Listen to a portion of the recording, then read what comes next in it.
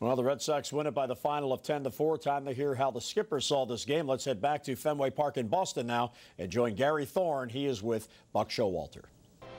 Buck, uh, continuing the starters that just can't get you very deep into a ball game. In Jake Arrieta's case, is there anything you see that he can do to work his way deeper into a game?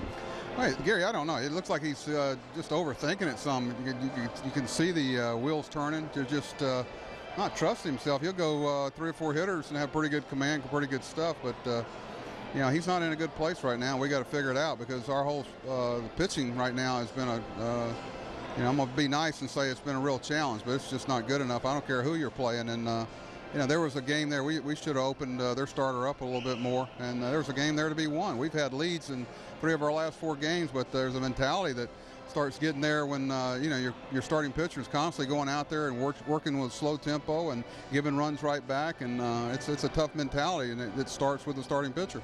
How much did this does this game affect what you may have been planning to do pitching wise in the series? Well, I know it may be frustrating for some of our, our media, but uh, you know it's a we have to see how we get through each night before we're trying to get the All Star break and regroup, but. Uh, you know, we, we have some plans there with uh, potentially Simon on Saturday and uh, Atkins on Sunday, but you know, we get an early exit again tomorrow, then uh, those plans will change, and it's it's a, uh, you know, it's a evaluation in pro progress. We're trying to get to the break, and uh, you know, they're not letting us uh, keep our options open by the way we're pitching.